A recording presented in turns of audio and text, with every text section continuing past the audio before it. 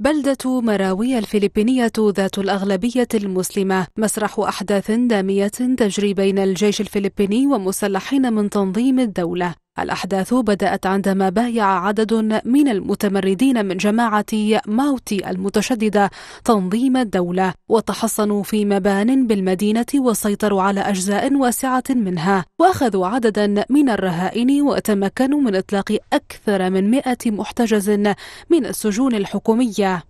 تبع ذلك قيام قوات الجيش بشن حملة عسكرية على المدينة ما تسبب بنزوح أكثر من 90% من سكان المدينة. لكن اللافت في أمر ذلك النزوح ما كشفته صحيفة الإندبندنت البريطانية من أن المسيحيين من سكان المدينة يهربون من التنظيم متخفين بالحجابات التي يستعيرونها من أصدقائهم المسلمين. رئيس فريق العلاج النفسي الدكتور جويا أنشيتا قال إن قصصا مميزة كثيرة جرت أحداثها خلال النزوح منها مساعدة كثير من المسلمين لأصدقائهم المسيحيين باستعارة مقتنياتهم الشخصية من أغطية وملابس محتشمة للتخفي خوفا من تنظيم الدولة. المدنيون هناك يقعون بين نارين فهم من جهة يواجهون خطر الاحتجاز من قبل تنظيم الدولة من أجل استخدامهم دروعا بشرية حسب صحيفة الإندبندنت.